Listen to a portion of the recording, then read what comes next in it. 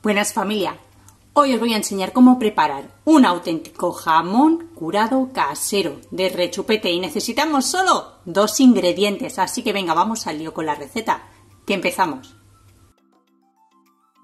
Lo primero que tenéis que hacer es ir a vuestra carnicería de confianza y pedir un buen trozo de jamón. También podéis hacerlo con paleta, queda muy rico, como una paleta curada. Como veis tiene un poquito de grasa, esto apenas es nada de grasa. Recordad que cuando compramos un jamón entero en pata para lonchearlo tiene mucha más grasa. Esto forma parte del jamón y le va a dar un saborcito característico que después una vez curado se lo queréis quitar, se lo quitáis después, pero para curarlo dejarlo. Y ahora lo que vamos a hacer es buscar un recipiente donde ponerlo. Yo tengo este colador que es bastante grande. Vamos a colocar una bandeja debajo por el posible juguito, el agua que va a soltar al curar. Y vamos a utilizar sal gruesa. Yo no utilizo azúcar.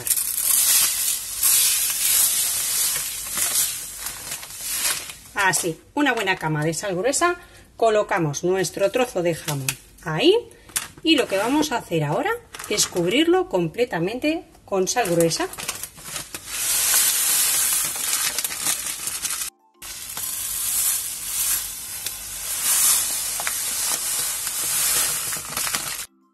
Vamos a presionar muy bien por todos lados para que se adhiera muy bien la sal. Es necesario, lo movéis un poquito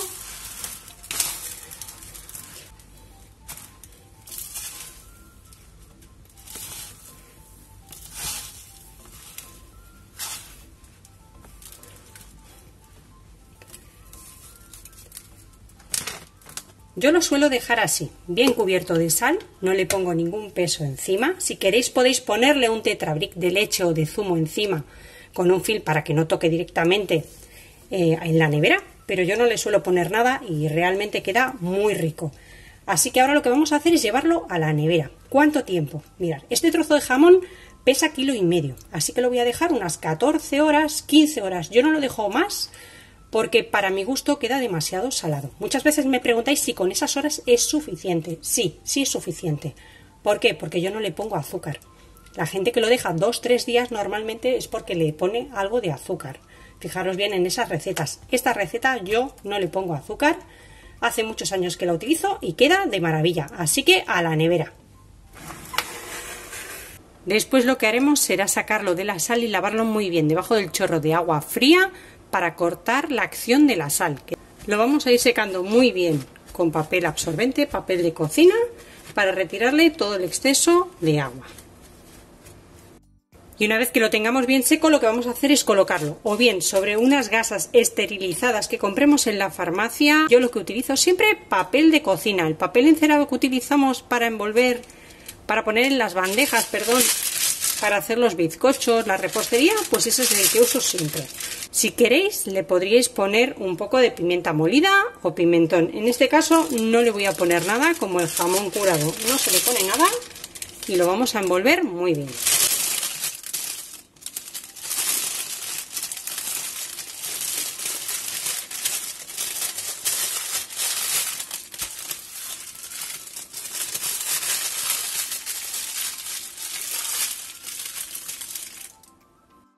Y con una cuerda de algodón de cocina lo que vamos a hacer es atarlo un poquillo, un poco como un atillo, para que no se nos desenvuelva.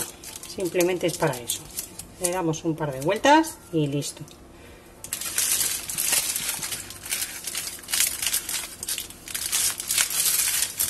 Os voy a dejar también por aquí en la esquina cómo hacer el lomo y la panceta adobada. Os lo dejaré también en la cajita de información.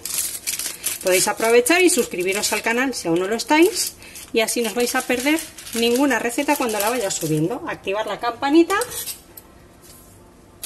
y listo. Vamos a cortar por aquí, atamos y nos vamos con el derecho a la nevera. De esta forma podéis curar durante todo el año, aunque sea verano, como es nuestro caso, lo vamos a llevar a la nevera y lo vamos a poner sobre una rejilla yo utilizo esta, que es la que venía con el microondas, si no podéis comprar alguna parecida o hacerlo, nada. Y lo que hacemos es colocarlo de esta manera en el frigorífico, de tal manera que circule el aire por todas partes y cada dos o tres días cuando vayamos a abrir la nevera le damos la vuelta y así se va a secar por todas partes de la misma forma. Y cuando veáis que al tocarlo ya está duro como os gusta a vosotros, dependiendo de si os gusta más seco o menos el jamón, es tiempo de sacarlo de la nevera, partirlo como vamos a hacer ahora. Yo lo he tenido exactamente dos meses y medio, por eso siempre os aconsejo que cuando abramos uno ya tengamos otro preparado para curar en la nevera. Recordad que este jamón pesaba un kilo y medio antes de ponerlo en sal. Después suelta agua y al secarse merma. No le habíamos puesto nada, ni pimentón, ni pimienta, ni nada. Lo tenemos completamente seco. Y pesa ahora 704 gramos. Se ha quedado en la mitad. Huele que alimenta. Ahí podéis ver un poquito del brillo de la grasa. Esto es del secado, no pasa nada. Y está completamente durito. Así que vamos a partirlo.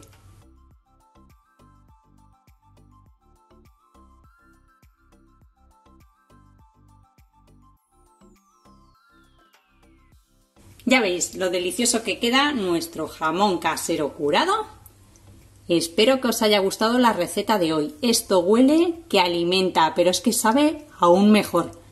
Ya podéis salir corriendo a la carnicería comprar un buen trozo de jamón y sal para curarlo. Es una auténtica delicia. Yo lo he dejado dos meses y medio porque me gusta bien sequito.